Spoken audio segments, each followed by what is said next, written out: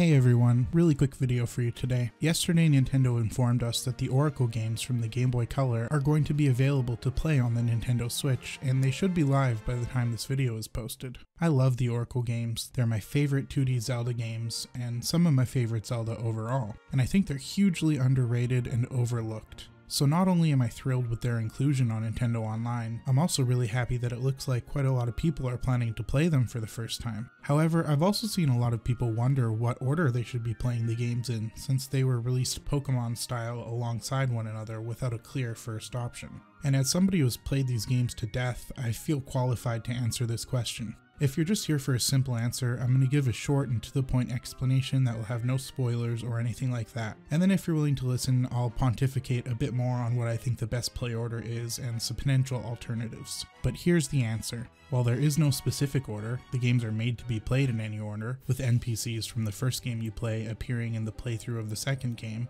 each one has a significantly different gameplay focus. Oracle of Seasons has a much stronger focus on action, exploration, and combat, whereas Ages has a much stronger focus on puzzle solving. I think Ages is a significantly harder game, and as a result, I recommend you play Seasons first and Ages second. Especially if you haven't played 2D Zelda in a while, or this is your first playthrough period, this playthrough will ease you into things with an experience that centers more around combat and has dungeons that start off trivially easy and ramp up to a little difficult. Then when you move over to Ages, you'll have already mastered combat so none of the enemies or bosses should give you much difficulty, and dungeon progression will continue from where it left off, with the early Ages dungeons being on par with the late game dungeons of Seasons and only getting more devious as things go along. Then you'll be prepared for the final battle and the true ending, which you earn by completing both games. And that's my short answer Seasons and then Ages.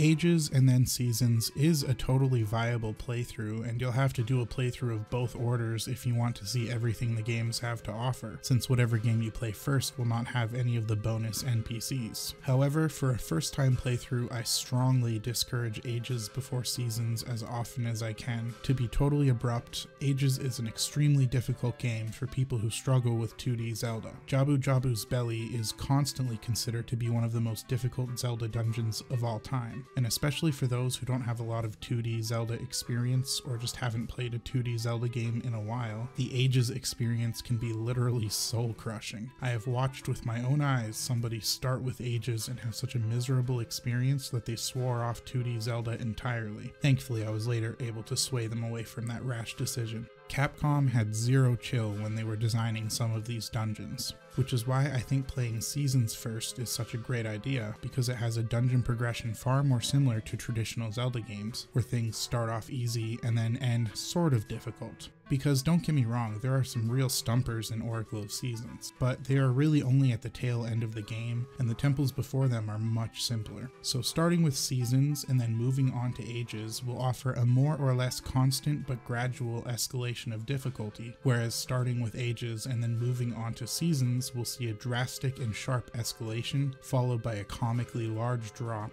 and a re-escalation that barely comes close to the original. This is not a big deal at all if you know what to expect, but it can absolutely blindside you if you have no idea. But if you do consider yourself a proficient puzzle solver and the idea of being met with a sharp challenge right off the bat doesn't bother you, then Ages First isn't off the table. At that point, it all comes down to playstyle preference, the action and combat focus of Seasons, or the intricate and difficult yet satisfying puzzles of Ages. There are some other things to consider too, namely the equipment that transfers over. Each game has a number of exclusive rings that cannot be obtained in the other game, and there are even some rings that can only be obtained in linked game playthroughs. In the description I've supplied a link to a website that will explain what each exclusive ring does because if I was to go over each of them it would triple the length of this video.